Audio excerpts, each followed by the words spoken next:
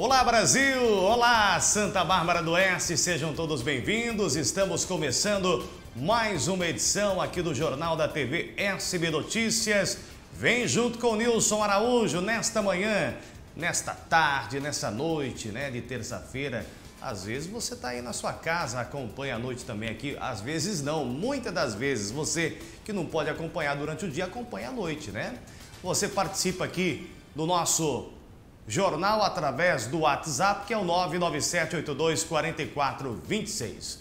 Vamos se inscrever aqui no nosso canal? Vamos lá? Se inscreva, clique no gostei e ative o sininho, isso mesmo. Olha aí, participe, compartilhe aqui o nosso jornal de hoje. E eu começo falando, veja só, o que, o que ocorreu neste final de semana aqui em Santa Bárbara do Oeste. A família, ela faz um apelo aqui no Jornal da TV SB Notícias sobre o desaparecimento é, do, do, instrumento, né, do Pedrinho, o Pedrinho sanfoneiro. Qual que era o instrumento? A sanfona. Então, olha só, é, levaram, furtaram, né, é, a sanfona do Pedrinho sanfoneiro. Então, a família do nosso querido Pedro Macário, né, o Pedrinho, mais conhecido como Pedrinho sanfoneiro, faz esse apelo é, para a imprensa para que a pessoa que furtou a sanfona do garoto possa se sensibilizar a devolvê-la. Pedrinho se apresentou na noite de sábado, é, ali na Rua da Agricultura, conhecido como é, Bar das Árvores, né? Ele estava lá com seus pais e após o término deixou o local com a família, encostou ali, né? O pessoal estava ali conversando, tal, né? e ele encostou ali o, o instrumento é, no lado e quando percebeu tinha desaparecido a sanfona. Pedrinho Sanfoneiro é guiado aí pelo talento inconfundível de tocar sanfona desde pequeno.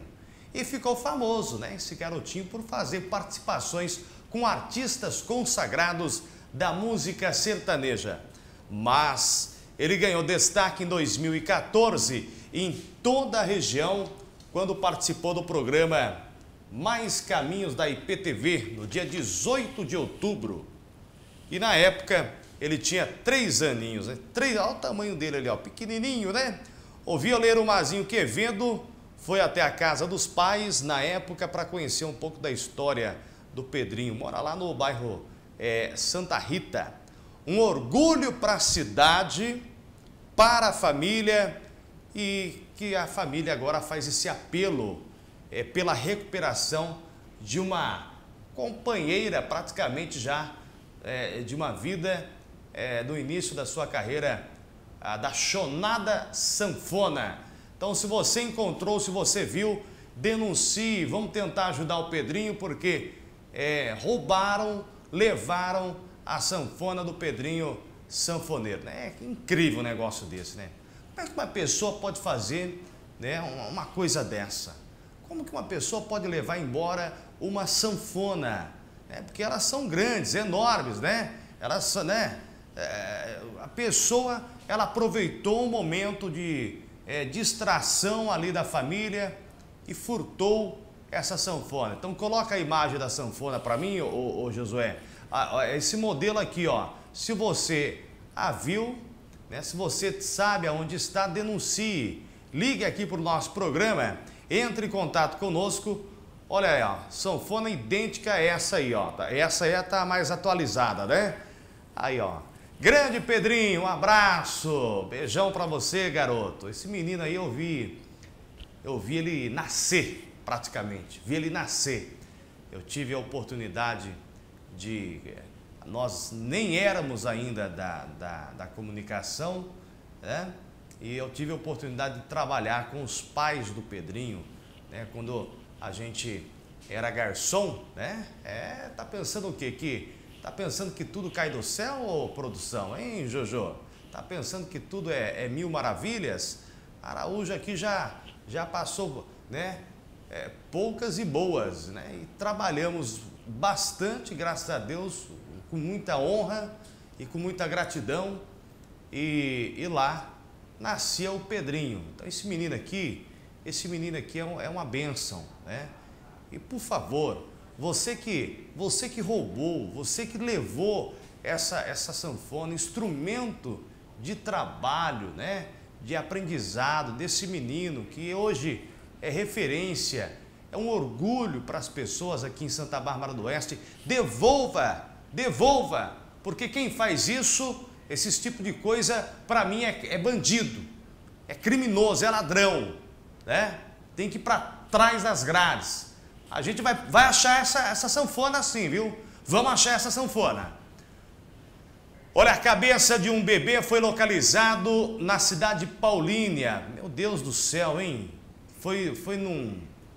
Foi, foi aonde? Foi num, num lixão, é isso? A Polícia Civil localizou, agora investiga é, a cabeça encontrada por funcionários de uma empresa de reciclagem, a Estre Ambiental, na Avenida Orlando Vedovelo, no bairro São Bento. O resto do corpo não foi localizado pela polícia até o momento. Olha, estava aí, ó. Você imagina aí, ó, é, é uma empresa de reciclagem e quando o pessoal estava separando lá os produtos, acharam uma cabeça de uma criança. Que barbaridade, né? Que barbaridade. O aterro de lixos é, é, de várias cidades da região é que vão para para esta administradora, que é a Estre. Segundo informações, a Polícia Militar foi acionada até o local, a área foi totalmente isolada para a perícia e agora é, a polícia está investigando esse caso, né? Mas que brutalidade, né? Que, que coisa, né? Tomara que a polícia encontre é, é, este criminoso, essa pessoa que fez isso também. Que mundão que nós estamos, pelo amor de Deus. Vamos falar coisa boa? Vamos falar coisa boa. Minha gente, muito obrigado a você que colaborou com a campanha da feijoada do Lions Clube. Isso!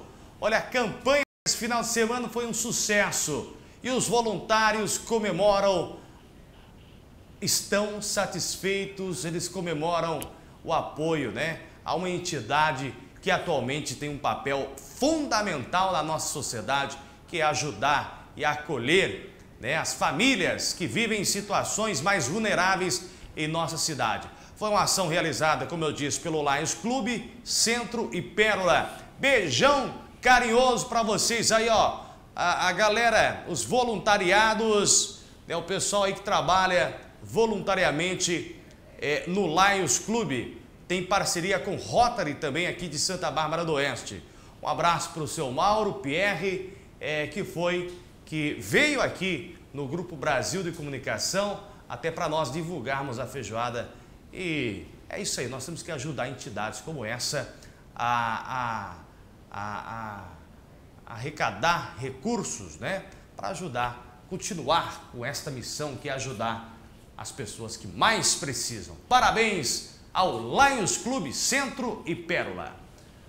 Bom, estou ficando por aqui para vocês aí uma ótima terça-feira. Lembrando que daqui a pouco, logo mais às duas da tarde, nós teremos hoje sessão na Câmara de Vereadores aqui de Santa Bárbara do Oeste. Fique ligado, porque informações em primeira mão você tem sempre aqui no Jornal da TV SBN. E mexeu com você, mexeu comigo. Tchau, pessoal.